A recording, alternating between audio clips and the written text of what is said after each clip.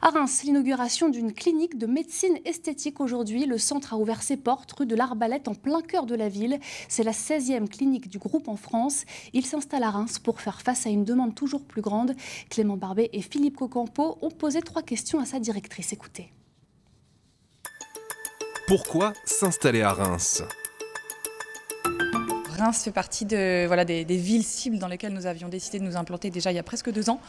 Euh, pour euh, la petite histoire, j'ai fait une analyse euh, de volume de mots-clés localisés sur la région, le nombre de personnes qui cherchent en fait à faire des traitements de soins esthétiques ou de bien-être. Et Reims fait partie du top 15 des premières villes dans lesquelles la demande est plus importante que l'offre. Quel type de soins proposez-vous? On couvre un grand panel de traitements euh, sur le bien-être et l'esthétique, à la fois sur la silhouette, sur le visage, sur l'anti-âge, sur les problématiques de peau, tout ce qui concerne aussi euh, le capillaire, donc les chutes de cheveux ou en prévention ou en traitement post-greffe, euh, l'intime, la santé intime, la nutrition, le surpoids, les injections, l'épilation laser, le, détatouage. Pardon. On a pas mal de traitements disponibles au sein de la clinique des sciences Élysées à Reims. Allez-vous recruter des collaborateurs?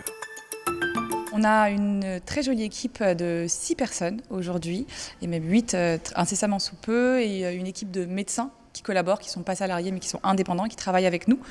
Euh, on recrute en permanence des profils en fonction de l'évolution de la structure sur Reims. On sera amené probablement dans les prochaines semaines ou mois, si l'activité se passe bien, à recruter des profils supplémentaires. Et tout de suite, on va plus loin sur ce sujet avec vous, Clément Barbet. La demande est-elle vraiment de plus en plus forte en ce qui concerne la médecine esthétique? Tout à fait, Laïla. En fait, depuis quelques années, on assiste à une véritable démocratisation de ce type de soins. Deux chiffres. Au niveau mondial, depuis 2014, le marché est passé de 5,7 à 14,8 milliards d'euros.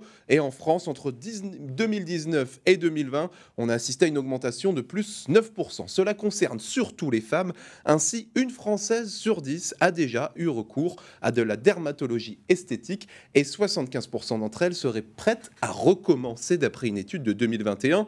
Les actes les plus réalisés sont les traitements anti-âge et les épilations au laser. Et pour éviter les mauvaises surprises, quels sont les bons réflexes? Un réflexe indispensable. Tout traitement débute toujours par une consultation chez un médecin avec lequel vous allez effectuer un bilan pour savoir quel sera le traitement adapté? Exemple, si vous perdez vos cheveux, pas forcément besoin d'envisager une greffe dès le début, il existe d'autres solutions en amont. Enfin, on ne le dira jamais assez, mais ne vous laissez pas avoir par les annonces qui pullulent sur les réseaux sociaux, notamment pour des injections d'acide hyaluronique à domicile. En France, seul un médecin est habilité pour les faire et cela doit se passer dans un cabinet médical. Merci beaucoup Clément pour ces précisions.